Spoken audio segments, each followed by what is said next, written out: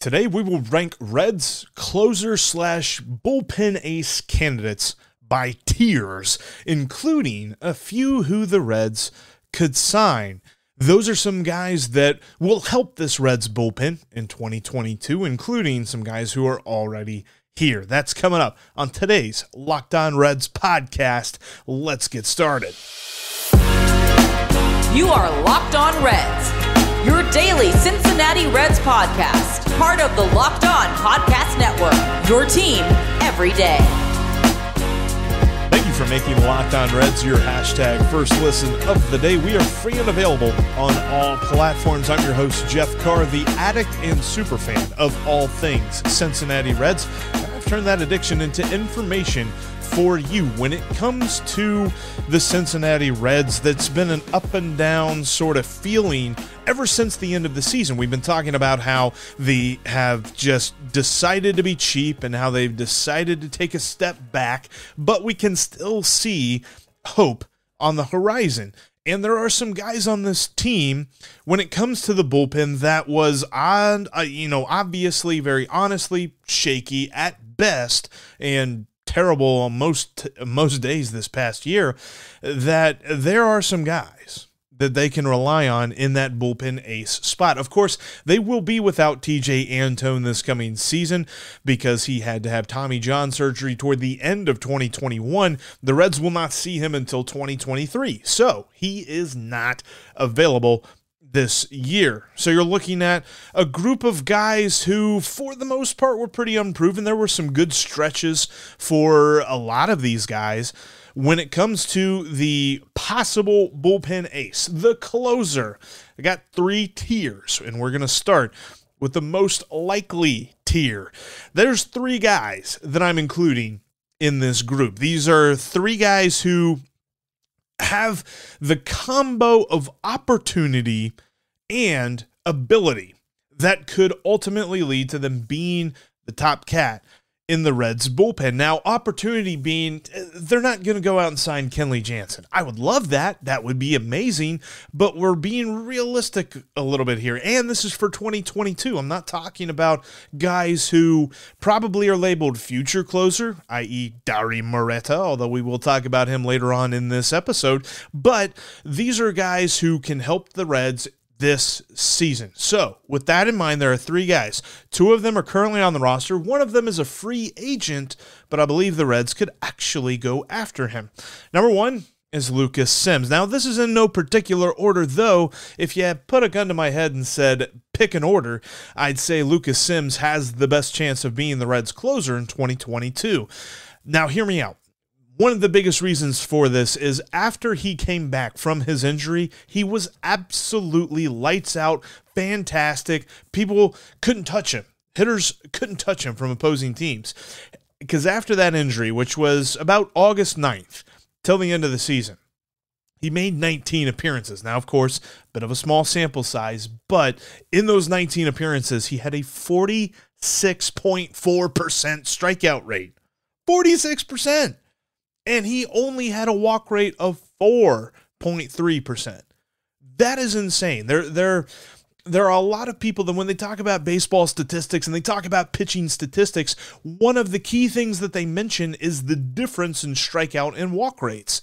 That is insane. That is a level that, were he to keep that up for an entire season, you're talking about some really just eye popping numbers that Lucas Sims would be able to compile. Now, obviously, that's again 19 appearances, tiny sample size. He would have a lot more throughout a full season. But if you can you know, you, you put that together with the fact that during that period of time, he allowed a 167 batting average against him. He was only giving up three quarters of a base runner an inning. His whip, his walks plus hits per innings pitch, was 0.76. So, you know, just a shade over three quarters. But still, phenomenal numbers. He was absolutely reliable there. And, and part of that was he was dealing with, I believe it was a, uh, a thumb injury, I think. Um, crap. Uh, but he he had a injury there that would really messed him up in June. He missed some time for that. He came back, and after he came back, he was absolutely phenomenal. This next guy, you're going to maybe cringe a little bit because I included him on this list, but hear me out. Amir Garrett. You're going to say, Jeff, he had an awful year. Why is he even on this list, let alone in the most likely tier? Amir Garrett is super talented. He had a terrible 2021, and he'd be the first to admit that. But consider for a moment the two years combined before this past year. Now, obviously, we're not going to just look at 2020 by itself. I wanted to combine it with 2019, but when you do that, when you compare or when you combine 2019 and 2020 for Amir Garrett, he had 74 appearances with a 3.04 ERA. And he wasn't getting that lucky. His xFIP, which is a statistic that it's it's formulated like an ERA, but it's trying to get rid of things that he can't control. Basically, an ERA predictor was 3.57. So he was still a very good pitcher when you look at those numbers and a 32.8% strikeout rate for 74 appearances for 2 years. That's not a tiny sample size. That's a pretty nice sample size, something that you can hang your hat on. Now, the one thing that remains concerning, even throughout those two years, was his walk rate, and that was something he had a lot of problems with in 2021. But he's always been a high walk rate pitcher. His walk rate was 13%. If he can somehow tap back into what he was doing in the two years leading up to 2021, he will round back into the form that will put him as the bullpen ace for the 2022 Reds. And look, I've said this before, and it goes uh, without saying that, you know, it, it can work in a positive manner or it can work in a negative manner. And that is relief pitching is a fickle thing, man. You can be really good one year and really bad the next. And I always use the same example Eric Gagne. Eric Gagne set the record for most consecutive saves converted and then after that, he disappeared because he just couldn't convert another. I mean, he converted some, but it was not with regularity, and he wasn't a great pitcher after that streak was over. But uh, relief pitching is just a fickle thing, man. And I think that Amir Garrett could use that to his advantage and bounce back in 2022. The Reds, at least, are going to gamble that he does. And the third guy who I think is he combines opportunity. It's interesting because he's a free agent, so you'd think that the opportunity isn't there. But I believe the Reds could bring this dude back. Of course, I'm talking about Mychal Givens. He's gotten some interest by the Phillies as well as other teams, but I believe that the Reds could possibly get him for around four, maybe five million a year, at least for a couple of years, maybe two years, something like that. I don't know. look, that's a little bit of just me ballparking free agent stuff. I'm not an expert when it comes to that, but they wouldn't have to pay him the amount of money that you'll probably have to pay a Brad Hand or obviously a Kenley Jansen or something like that. They could get him kind of on the second or third tier of free agent relief pitcher contracts. And that is something that the Reds are going to be looking at whether they can do. Mychal Givens could be in that group. Should he resign, he would be a very uh, highly favored candidate to win the Reds closer slash bullpen ace because I don't want them to be relegated to just the ninth inning. He could win that job. Coming up, the ones who have an argument to make that bullpen ace, but they probably won't be there on opening day. Before we talk about that, though, I want to tell you about some Built Bar. You need to add Built Bar into your snack game right now because it's the protein bar that tastes exactly like a candy bar. You're going to be eating something that is amazingly healthy for you, but you're also going to be filling that craving for something sweet. It's made with 100% real chocolate and it's got the best mouthfeel of any protein bar on the market bar none. Plus, you've got amazing flavors like cherry barcia. You've got the built bar puffs, of which I absolutely love. They are a bar that is a marshmallow covered in chocolate. That just sounds amazing in and of itself. But then you add in the fact that it's 180 calories and up to 18 grams of protein. What? Yes, a marshmallow has protein and it's a built bar. Check it out today at built.com. Use the promo code LOCKED15 to get 15% off your next order. I love Built Bar, man. I, you can replace a meal with it if you really want to. I'm not the kind of person that replaces meals with protein bars, but I've heard that it works. But it's an amazing snack to hold you over if you're looking at a long wait. Uh, maybe you're going out to eat or something right now and just everybody is out. Get yourself a built bar. It'll hold you over and it's going to taste amazing too. Go to built.com and use the promo code LOCKED15 to save 15% off your next order. Thanks again for making Locked On Reds your hashtag first listen of the day. We are free and available on all platforms. Tomorrow, huge announcement on the next Locked On Reds. Huge announcement for the future of the show. You're not going to want to miss it. All right, we talked about the top tier, the most likely tier, the three guys in Lucas Sims and Amir Garrett and Mychal Givens, who, if Mychal Givens were signed as a red whenever the lockout ends, then he would be a very uh, lucrative closer candidate for the Reds. I got two guys that are in the close call tier. These guys have a shot, but probably not on opening day. There's two guys that I'm looking at Luis Cessa and Tony Santillan. Luis Cessa came over from the Yankees in a deal that, when you say it out loud, it sounds ridiculous. But the Yankees were trying to clear some roster space and clear a little bit of payroll as well which that in and of itself sounds weird. The Yankees clearing payroll. I didn't think they had to do that. But they sent him and Justin Wilson to the Reds for one player to be named later. The Reds didn't even name a guy, and they got two back who'd had names. Go figure. But Luis Cessa was amazing for the Reds in his short time here. Again, small sample size, but he had a 23% strikeout rate and only a 2% walk rate and allowed just three of 13 inherited runners to score in the time that he pitched for the Reds. It was phenomenal to see when you're talking about a guy that, to be honest with you, you really had, even I, I, I had to look him up. I'm like, who is Luis Cessa? I mean, that, that, that sounds a little bit familiar, but not really. And when he came into games, the eye test, he really works the eye test as well. It's not just something that you're talking about numbers with Luis Cessa because he's very good at keeping the ball low in the zone. He's not going to get beat very often with the home run ball. His thing is he's got to have a pretty decent defense behind him because he's going to induce a lot of ground balls with his sinker slider combo. But that slider's nasty, man. That's that weird slider that doesn't break horizontally, it breaks vertically and it just dives under bats. It's so fun. Luis Cessa is one dude in the Reds bullpen that when he is called upon, I'm actually excited to watch him pitch. It's not like a, ooh, oh boy, I don't know if this guy's going to get an out. And, uh, Luis Cessa coming in, I feel a little bit confident in. And I think that's why he's in this close call tier. I don't think that he's really in that top tier of consideration for the Reds, but maybe through the first couple of months in the season, maybe something happens with some other guys, and David Bell looks at Luis Cessa and says, hey, maybe he could be the bullpen ace. Who knows? Another guy that I'm looking at, and this guy's got a wide range of outcomes. He's going to be a fun player to talk about for 2022, and that is Tony Santillan. Tony Santillan could be in the rotation. Tony Santillan could also be the closer. He is a phenomenal pitcher. And when he was put into the bullpen last year, he thrived. He made a couple of starts and then he had a lot of relief appearances 22 relief appearances. Now, by saying a lot, that's not like saying, like, wow, that's a ton.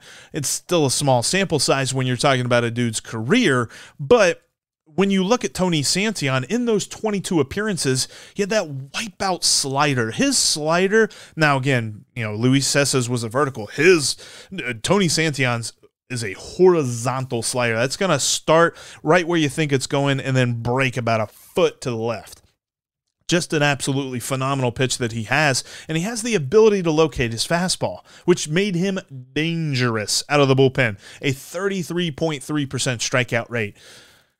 I'm no mathematician, but I think that's one out of every three batters he struck out. Not bad.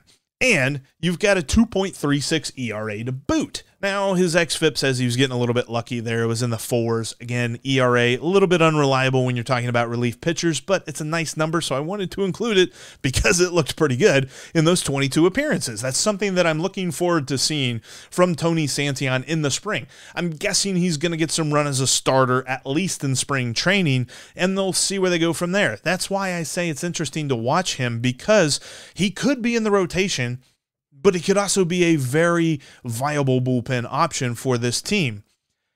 I'd be interested. I don't know. I, I got to ask some folks about this, but I I don't know as of right now where I think he is most valuable to the Reds. That would be something that I would find interesting as to how people would think it through. Is I mean, obviously, if you are a good starting pitcher, you're much more valuable than a good relief pitcher. But is he more likely to be a good starting pitcher than a relief pitcher? And ergo, that's where the question comes from, because I think that he's got the stuff to be a much better reliever than a starter. I don't think that's an insult. I don't mean an insult if that is. But I think Tony Santillan is going to be a lot of fun to watch here in 2022. Um, yeah, that's only two guys. Um, we, we've said three with the most likely, two in this second tier. Is there anybody else? Jeff Huff? No. Brad Brach? Hmm. No. Cionel Perez. No, no, no. He's on Baltimore. Baltimore got him. Yeah. Um, the next tier of this is crowded. We're going to talk about that here in just a minute. Before we talk about that, though, I got to tell you about betonline.ag. Go there today and set up your profile with the promo code locked on to get a 50% welcome bonus. You can turn your sports knowledge into cash with all the amazing lines and odds and over-unders and things like that that they have at betonline.ag. Head there today and check out the lines that they've got for the NFL, NCAA football as we're rolling through whatever bowl season currently looks like in the playoffs coming up this weekend. And you're talking about the NBA, NHL, the UFC, boxing. You can check it all out at betonline.ag. Set up your profile again with the promo code locked on to get a 50% welcome bonus Start making some cash off your sports knowledge at betonline.ag, where the game starts. You can connect with the show on Twitter at Locked On Reds, and you can find me as well at Jeff Carr with three F's. And hit up the Locked On Reds line at 513 549 0159. All right. We've talked about the most likely guys who could be the Reds closer this coming season. Talked about two guys who have a shot, but probably not on opening day. Now we're into the category that the Reds have seen to try to build their entire bullpen around, and that is dart throws. But I'm going to add a caveat to this. These guys aren't just dart throws, they're not just randos. They're dart throws with upside. Got three guys that follow that category. Now, don't get me wrong, there's going to be plenty of dart throws in this bullpen when it comes to just uh, getting outs. These are guys who I have some confidence in their ability to get outs.